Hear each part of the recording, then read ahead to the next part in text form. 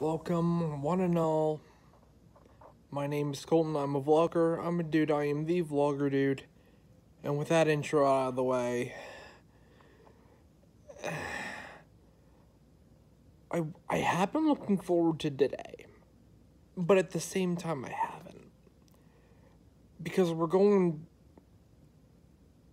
to another park, and it's a park I haven't been to since December thirty first, twenty nineteen this park has a lot of problems, especially this past decade with its business decisions. And they just announced the new ride for next year, and they announced a retheme of a certain area inside this park. And it's a 4D free spin. That's that's the big thing. And you guys will understand why I'm so disappointed once I show you which park it is.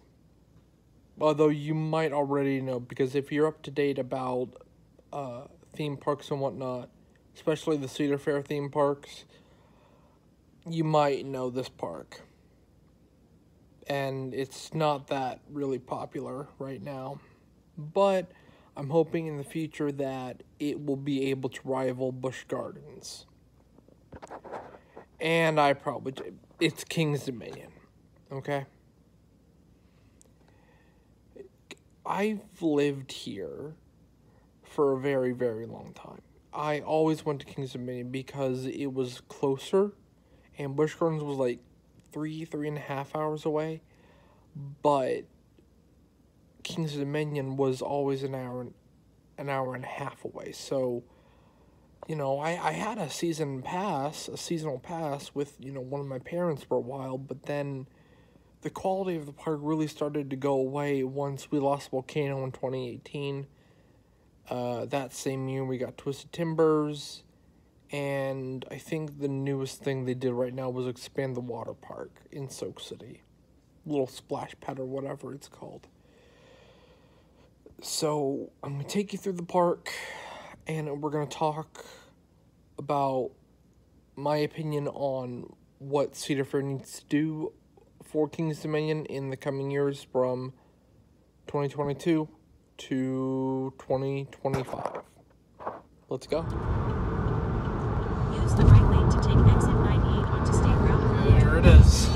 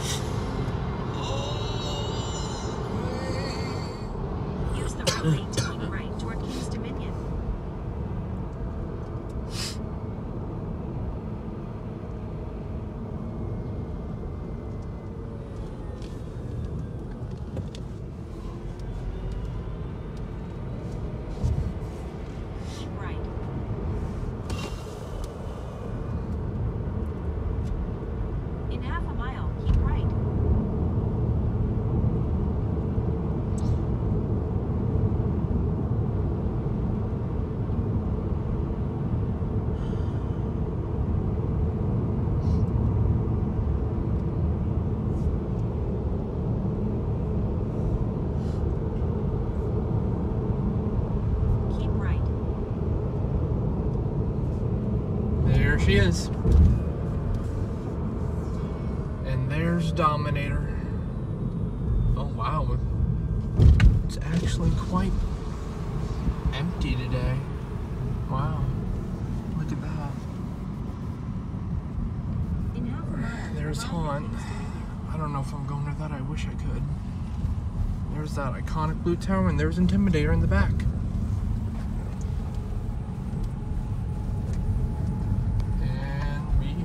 parking. I'll see you guys in a minute. Feels super weird being back here after a year and a half. I think I was here for Winterfest on December 31st of 2019. Yeah, it's been that long. I think that day I only rode Dominator and I did the old-fashioned cars twice. I did a show twice and I did this 3D thing twice in the action theater, which I'll talk about the action theater later because, you know, there used to be an old favorite of mine that used to be here when Paramount owned the park, but when Cedar Fair took over, they took it out. There's going to be a lot of old favorites that aren't here anymore. This video might be a little bit of history too. Let me show you guys something. So you see Domin you see Dominator over there? Right behind there, you used to be able to see Volcano, the blast coaster, and it was this really cool suspended coaster that uh, went up through a volcano. And three years ago in 2018, uh, they tore it down because it was uh, from the 90s and it was just getting too expensive to repair, so they took it down. I was super disappointed, but it had to be done. I can only hope that, you know, whatever comes after the 4D free spin coaster is a worthy re replacement for Volcano. Your hands often to defend against the spread of COVID-19. Please maintain a safe social distance and note health signage throughout the park, rides, and attractions. Going Thank into the park. enjoy the rest of your day. Oh, there's here Dominator going King's up. Dominion. There it goes.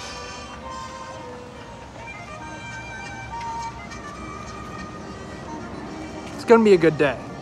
Very good day. Look at that. Those are pretty cool fountains. I love them. First thing on the agenda is Dominator. That's always a go-to for me. First thing I do all the time. It's right up here next to a Viking ship. Don't like the Viking ship. I did it one time. I will forever regret that decision. Alright, let's go. Dominator, good ride as always. I think I'm gonna do this before we leave. What do you guys think? Woo! I guess I should take this time to tell you a little bit about Dominator. Dominator was from another park uh, and King's Dominion received it and they rebranded it as Dominator so technically that was not built in-house but the other ones are I totally promise you that. Outside the Eiffel Tower up here they have a promo for King's Dominion Haunt 20 Years of Fear September 25th October 31st I'm not going. I don't plan to, but if you guys want me to, maybe. If you keep going past the Eiffel Tower, you enter Planet Snoopy, which is the kids area. This used to be based off of Nickelodeon characters back in the early 2000s. That's when I was a kid. It was a good time. There was a lot of cool stuff here. Sad Cedar Fair took over because, I don't know. Besides the yearly specials like the Christmas special and the Thanksgiving special. Does anybody really know who Charlie Brown is? Like, do kids know who Charlie Brown is? I don't know. You guys hear that music?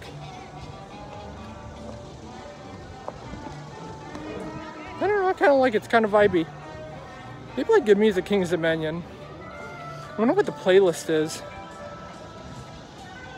Kings Dominion, they should release the playlist. So now we're in over in the next section of the park, which is Candy Apple Grove. You know, because, you know, Virginia. Oh, can I get it in the background? See that orange thing right there? That's where a roller coaster used to be. It was a stand-up coaster called Shockwave, and was it 2014 or 2015? They replaced it with Delirium. Um, I didn't like Shockwave. I don't like stand-up coasters. I was little. I got a headache immediately after. So what we're gonna do now, we're just gonna go over to the swings. I'm gonna show you a better view of the park because I didn't get my phone out on Dominator because I didn't want to lose it. So now we're high up. You guys enjoyed that short footage. Um, I was on the ride. I was trying to get an aerial view of the park. The guy told me to put my phone away. Like, it was outside. Like, I was only a couple feet off the ground. I was just trying to get an aerial view of the park. Like, I mean, I can understand a roller coaster, okay? But, like, the swings, when you're, like, 20 feet off the ground? Seriously? Like, it's outside. It's not like I'm, you know, violating anything. You know what? let's go someplace where I'm not going to be criticized for trying to get an aerial view of the park. Let's go on the Ferris wheel. So over there is Dominator, Anaconda, and there's the drop tower. If you look over here, you got Twisted Timbers, Ricochet, and then there's Windseeker. It's like the big brother of the small swings I was just on. It's about as tall as Intimidator. There's a catapult thing, there's the tower, Intimidator. And over there is Backlot, the one with the cop car. That used to be the Italian job. It's only it's one of the few surviving Paramount rides, although only it was rethemed. So that was fun. Got some really good aerial shots of the park. Swings wouldn't let me do it. Wait, no, not yet. Not yet. Give me a minute, guys. Where is it? There it is. We're going to Racer 75. I don't know what I was thinking. Oh, this ride is so shaky because it's so old. Oh. Yeah, that one. Uh-uh. Never again. I'm putting that on my do not do list. It was shaky and it kind of made my back hurt. I don't know. Maybe they'll remove it one day because it's so shaky. I hope so. Well, I mean, if it's a classic, yeah, I get it. But like, if, if it starts hurting people, it's time to throw it out. I was exiting Racer 75. Remember that 4D free spin I guys told you about? Right there. This is what they do for the crypt. It's not replacing Volcano, thank God, because that would be really cheap if it was. This, park needs to do better. Cedar needs to get their act. Did Apple's Apple off camera. Uh, didn't like it. They kept. It really hurts my sides. So now I'm gonna go on Twisted Timbers. I'm gonna have someone else get footage of me going up. Okay. See you guys in a minute.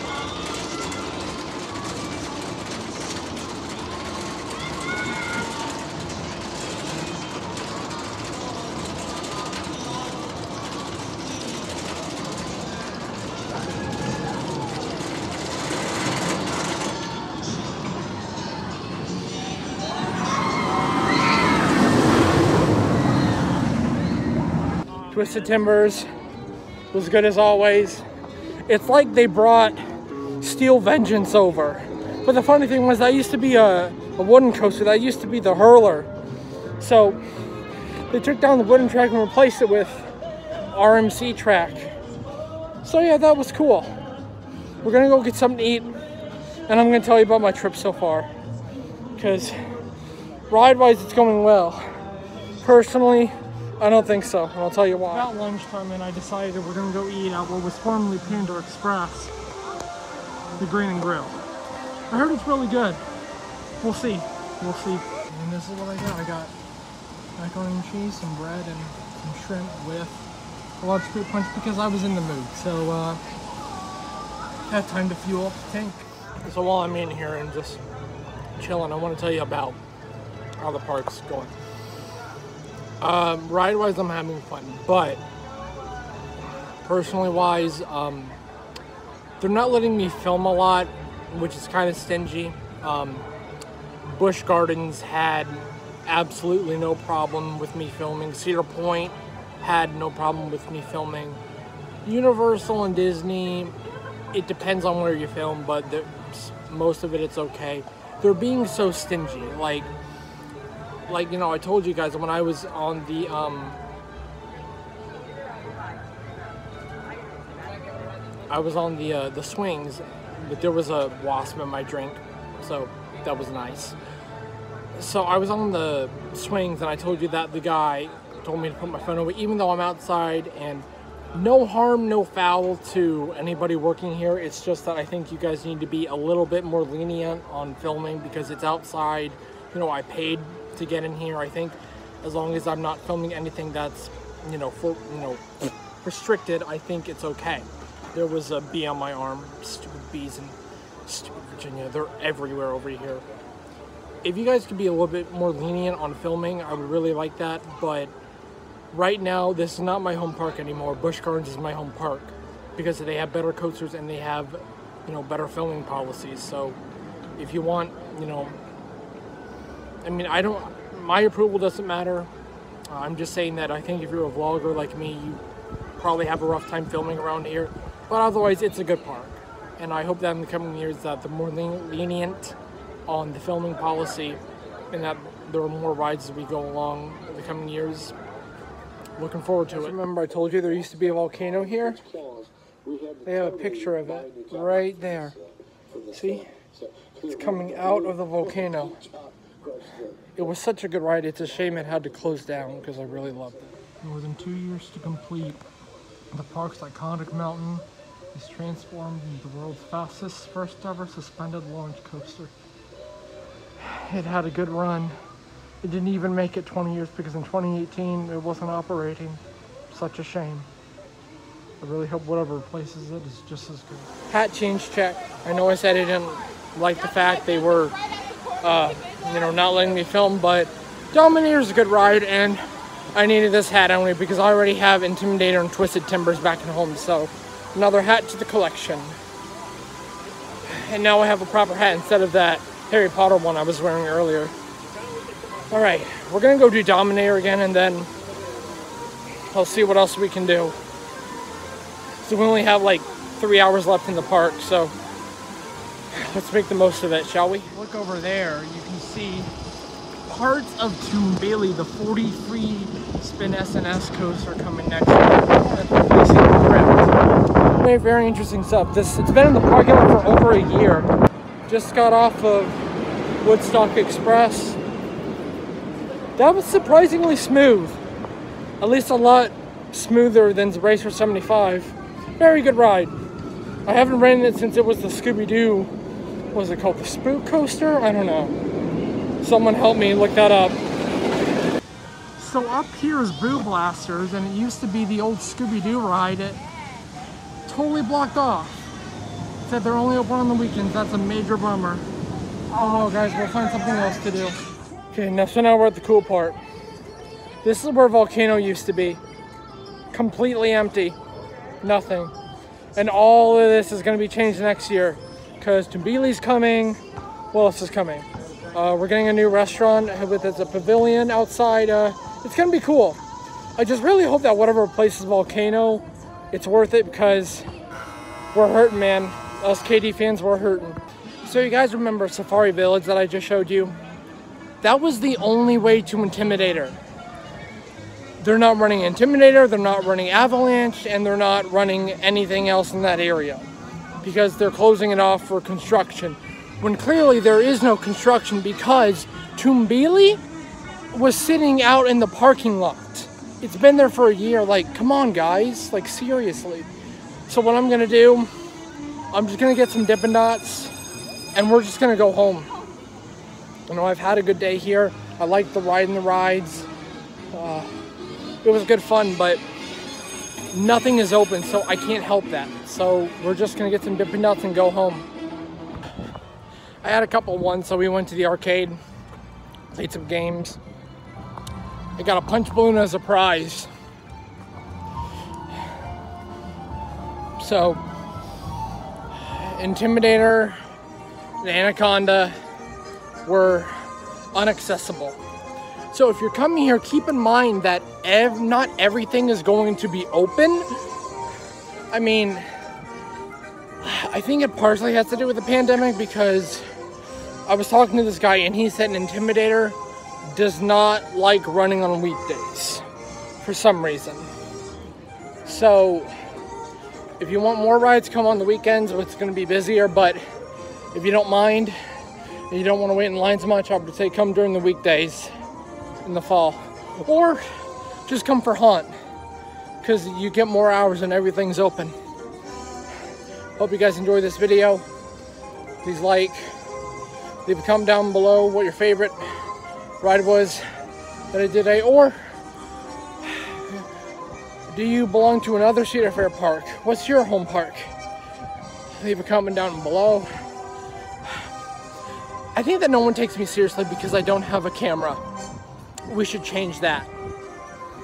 And maybe I will. That's all it for me, guys. I will see you in the next one. See you guys.